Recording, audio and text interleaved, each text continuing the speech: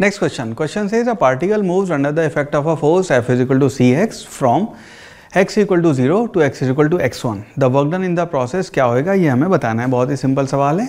हमारे ऑप्शन है सी x one square या फिर half C X one square या सी एक्स वन या फिर ज़ीरो नो सिंपल सवाल, अपना जो फोर्स है that is equal to C X इस वाले फॉर्मेट में अपना फोर्स है।